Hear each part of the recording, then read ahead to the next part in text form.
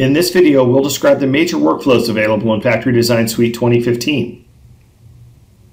The first workflow that we'll describe is importing a process model from a spreadsheet tool. In the spreadsheet, you define the parameters for the process model and simply import them using the import button in Process Analysis 360. With a few minor adjustments such as specifying a merge node and sequential operations for a processor, you can simply press play to run the simulation to see how it behaves.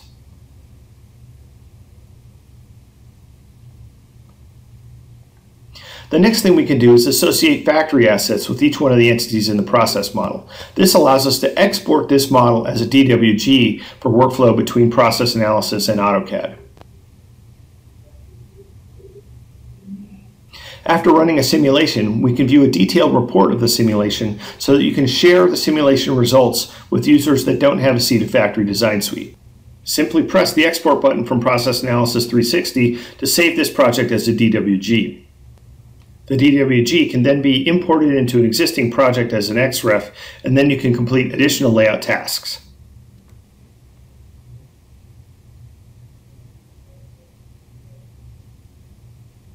Once your layout tasks have been completed, you can then sync to Inventor and each of the, the 2D representations will be replaced with their 3D representations, allowing you to see a full 3D model based on the 2D layout work you did in AutoCAD.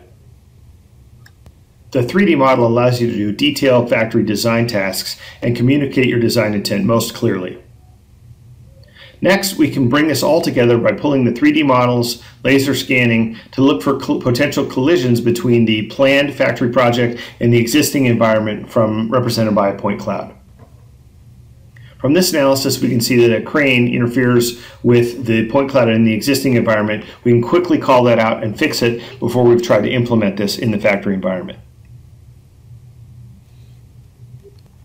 During the design review phase, we can annotate the drawing and indicate where we have defects and assign them to the appropriate parties to be resolved.